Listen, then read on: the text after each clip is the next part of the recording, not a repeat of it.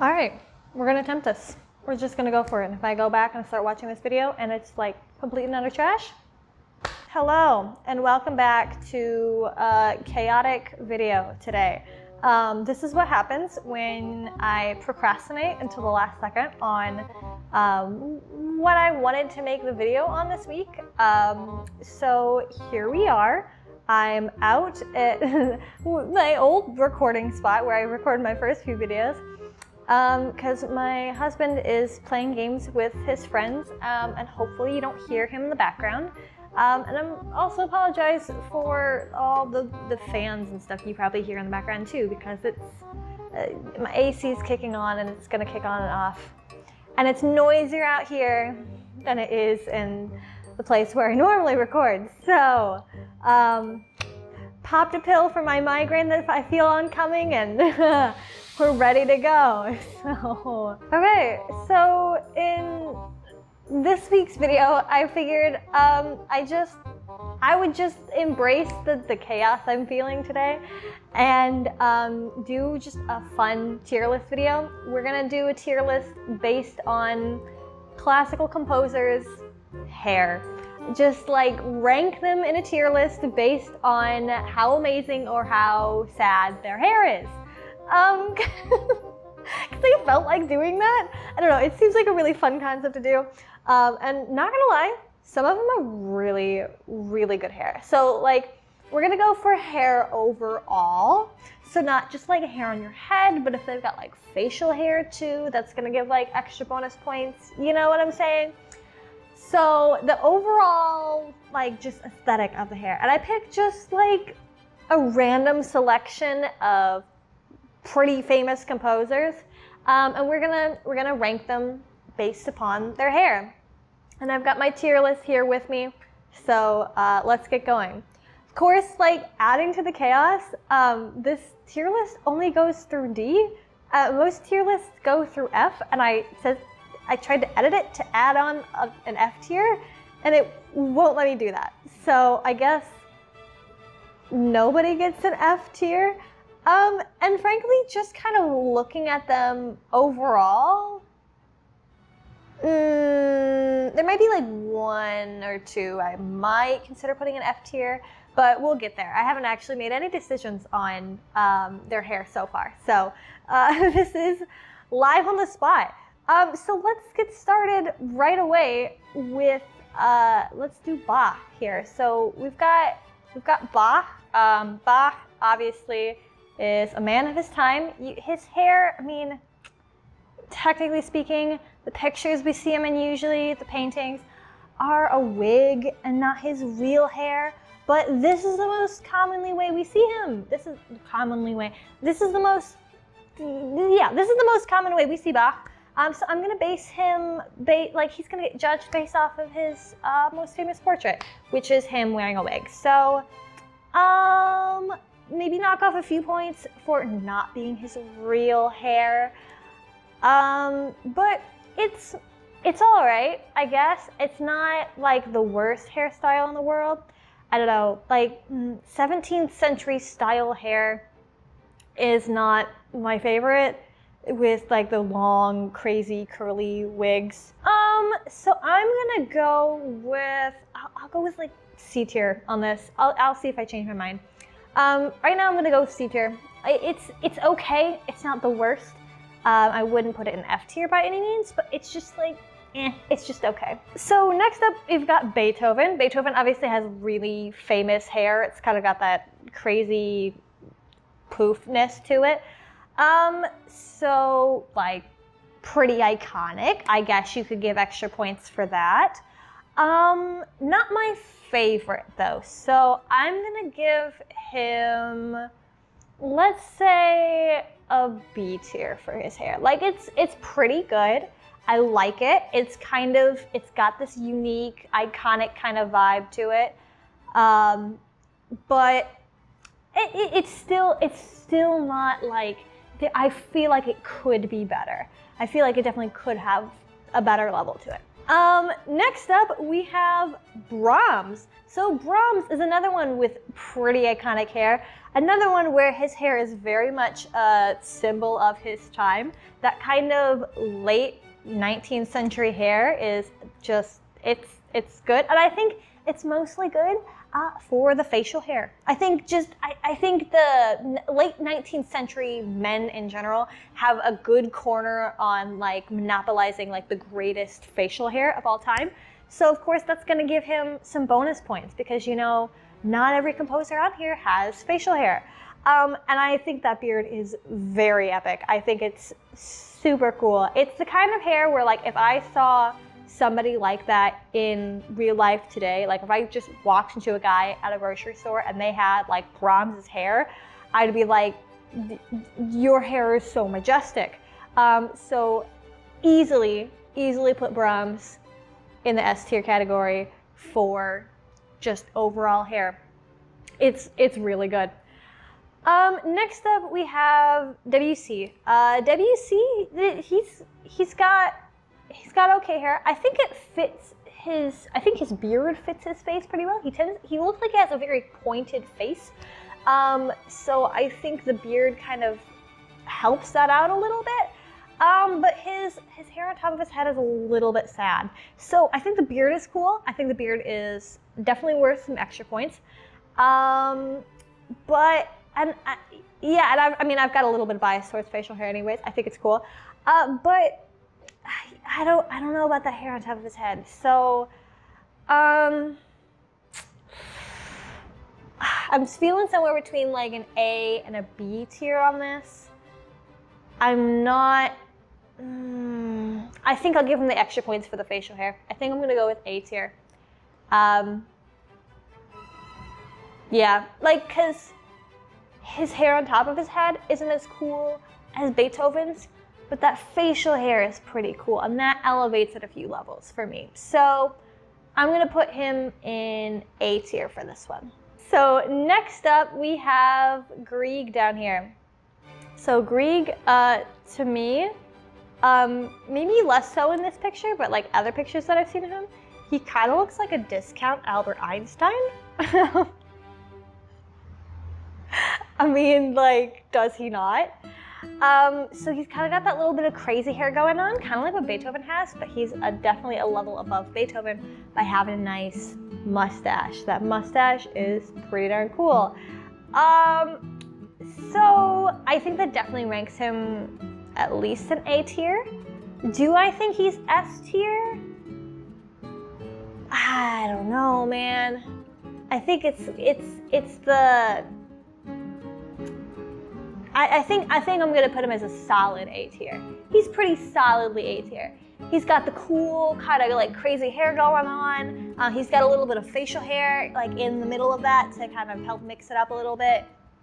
But it's not. He didn't like. He didn't commit all the way. You know. He didn't commit all the way to like the full beard. He just he kept, kept it with the mustache, which is like respect for the mustache, man. Um, but uh, I think I think if he had maybe gone for a little bit a little bit more, like down on the chin, that would have just nailed it. But like otherwise, I think it's a pretty solid A tier hair. Um, next up, we have John Williams. Um, I figured I'd throw a more modern composer on here because uh, everybody knows John Williams. Everybody loves John Williams. Everybody thinks his music is really cool. Um, so he's, he, I mean, the last guy was discount Albert Einstein. John Williams, honestly, if we look at him, kind of, kind of like a discount Santa Claus. Just a little bit. Um, because he, has got that, he's got that full beard down here, which I think is great. Um, however, sad to say, this is a hair competition, and um, you know it's hard to compete in a hair competition when you're kind of lacking up top. Uh, not his fault, but you know it's you know, it's a hair competition, so what can I say? Um, but I will give him props to having the beard down there, because you know, if you're losing it up here, you might as well start growing it down here. So I'm gonna put John Williams in a B tier. I think he's gonna go right next to Beethoven here. He's pretty good. He compensated for the loss of hair. He's still going in strong, um, so I'm gonna give him props for that and put him in B tier. Uh, next up, I have Franz Liszt. Uh, Franz Liszt is on here because he was uh, quite the looker in his day. I mean, that's where the term Lisztomania came in. Um, and of course, I put him on here in his prime. I didn't pick his old picture, uh, although technically I, it doesn't make a difference because he had the same hair then and then. I was gonna say then and now, but like he's not alive, so it's then and then. But um, back in his prime versus when he was older, um, and he's got like this one like cut bob length. It's like he went into the future, into the 1920s, saw what like all the women were wearing, and is like, I want that hairstyle. Either that, or all the women in the 1920s looked back at Franz Liszt and were like, I want that hairstyle. So was he a time traveler or a trendsetter? I, I don't really know. I guess we'll just have to speculate. Um, but honestly, maybe it's because Franz Liszt just isn't my type. I don't know. His hair is just, it just doesn't really do anything for me. I mean, it it's kind of goes with that crazy frizzy look when he's older. Maybe I like the crazy hair just a little bit more, but even then, it's just like, it's just like one cut and like the curled under bangs and Honestly, it reminds me of my kindergarten picture. I had the same haircut when I was in kindergarten. Um, I just had like bangs along with it. So, I mean, if the best you can do is like the level of a kindergartner, um, I'm gonna put you in the C tier. I mean, he tried. There's clear, there's clear like effort here, um, mm, but just eh, Mm, nah. Next up, we have Monteverdi. Monteverdi over here has got like that that kind of Renaissance hair going on. Uh, like I said, not too much on the top, but that beard, man, that beard is so epic. It's like that shaped, like pointed beard that's like super popular. Um, it, in the 16th century. Why do I always get my centuries mixed up? I think about this kind of stuff constantly. I'm constantly thinking about like historical dates and whatever, and I still cannot get my centuries right. But 16th century, yes. But he's got that like 16th century, almost like what we think of like William Shakespeare esque kind of like beard going on, and I think that makes up for a lot. I think it makes up for, you know, however short his hair may be on the top. And you know, it's not like Bach, who was like a century later or so and had to go get fake hair. So, um, I, I, I, think his beard is very epic. Um, I guess I have a clear bias towards beards here in this tier list, but you know what? I don't really care, and this is my own tier list, so I'm gonna go ahead and put him into S tier. Sue me. Okay, speaking of fake hair, we have Mozart. So Mozart's another one um, where a lot of his, like his most famous portrait that we know is him in a wig, because it was still a pretty popular thing for a lot of men to do of that era was to put their hair in wigs. Um, this is into the 18th century. However, uh, Mozart's kind of like the last, he's the end of an era, you know, not many composers after him really started wearing wigs. Um, but he's got that famous, like, the hair, like, brushed back into the ponytails with, like, the buckles on the side. That's a pretty iconic look. However, it's not like Beethoven, where Beethoven is, like, iconic to him. And Mozart just stole a different iconic look. He couldn't, he couldn't even really be original with that. Um, so, mm, I'm gonna go, I'm gonna go ahead I'm gonna put him in C tier. I don't hate it. I don't think it's bad, but like, uh, um,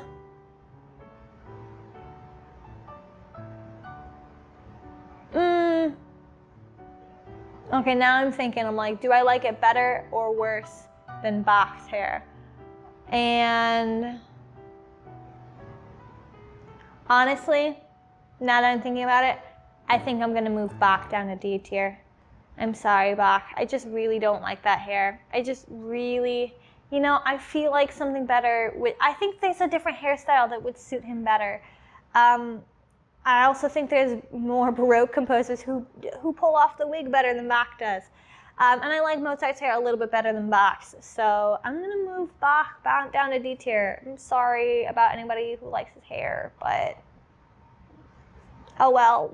Next up, we have Schubert. So Schubert's got, uh, he's got a nice, like, Regency, that's the name of it. Uh, he's got a nice Regency era hairstyle. Um, and you know, you look at it and you're like, oh, it's like pretty basic hair. Um, but then you realize he's got some sideburns going on. So he's he's sneaking it in there. He's he, he's not trying to be any kind of top level hair professional. Um, but you know, he is going for those extra bonus points. And I appreciate that. So I'm gonna take his overall hair. Um, I think it's curly. Let me get a closer look at it again. Okay, so he definitely does have curly hair. Um, which is like, that's a pretty, that's a staple of Regency hair, especially like with women. I don't know if men curl their hair too often, so like maybe his is natural. I'm not entirely sure on that. Um, but you know what? I like it. I think it looks good on him, and he's got the sideburns. So I'm gonna I'm gonna put him in A tier. I would put him up there with Grieg and Debussy. You know the other, like the 20th century composers. Um, yeah. So I appreciate that. I think we're gonna put it in A tier. Okay. Next up, we have Schumann. So um, Schumann has a couple different portraits. I decided to base it off of this one. There's another one that I found. I think it's of him when he's a little bit younger. Um, and this is him when he's a little bit older, I want to say. But I think this is the more iconic painting of him. And so I'm like, well, this is the more iconic one. I'm going to base it off of this one. And I will say that if you think I'm being unfair to Schumann here, Robert Schumann, um, I think his hair in the other portraits that I was seeing was better. Um, but this hair, mm, it's like little boy blue kind of thing going on. Uh, yeah, I mean it's kind of like Franz Liszt hair, but worse.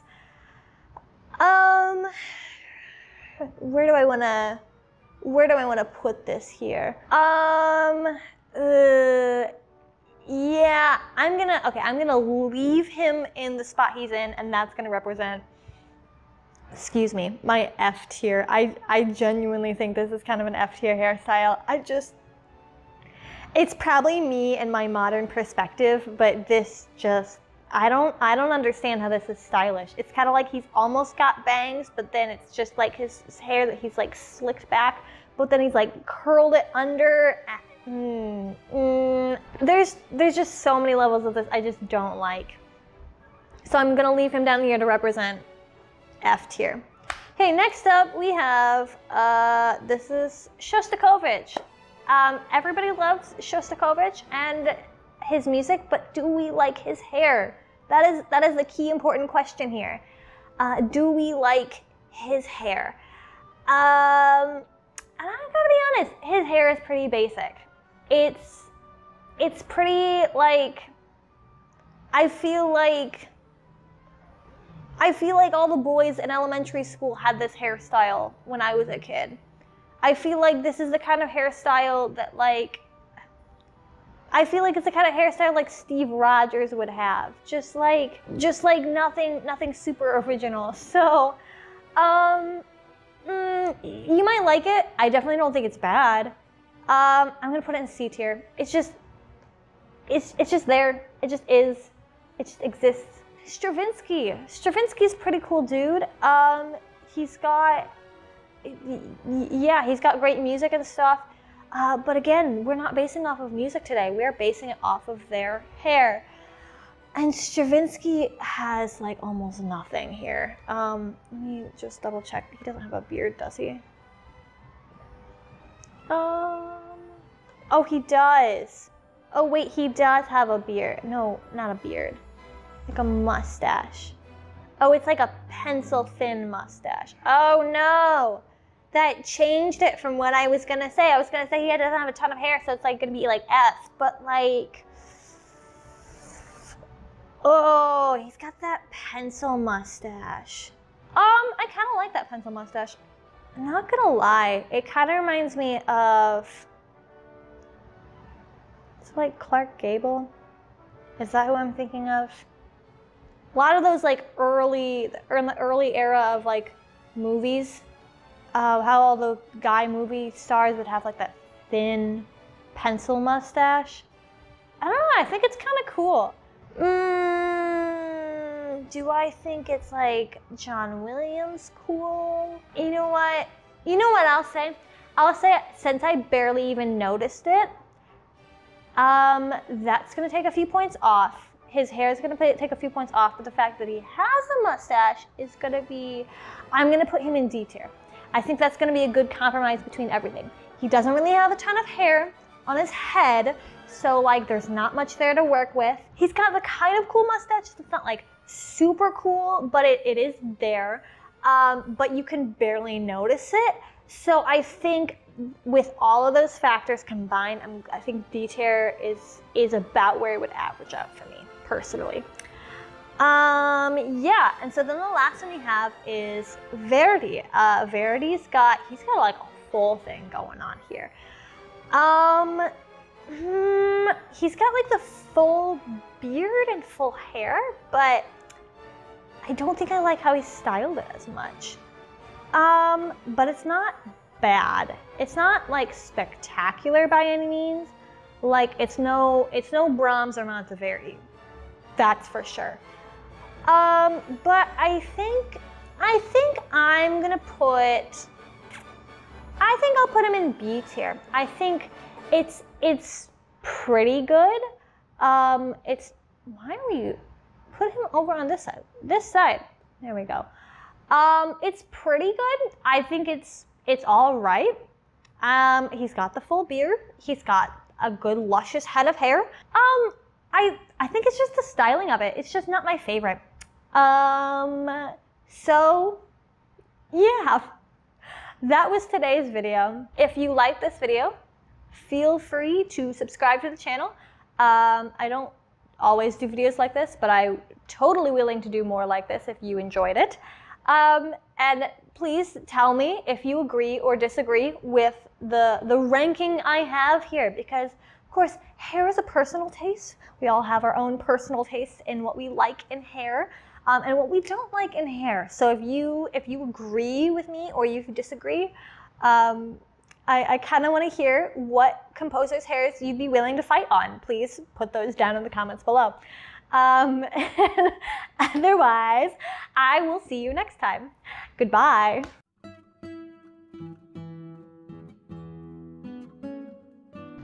Should I like maybe turn it a little bit more so I have slightly better lighting? that just made it like somehow worse, I guess. You know what? I'm gonna, gonna It helps.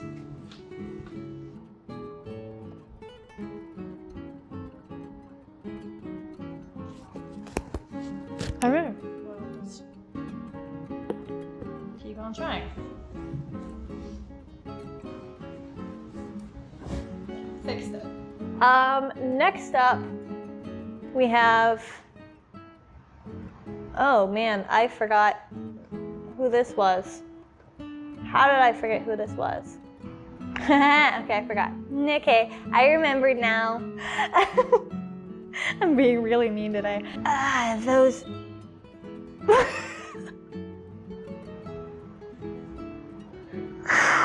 oh, my husband.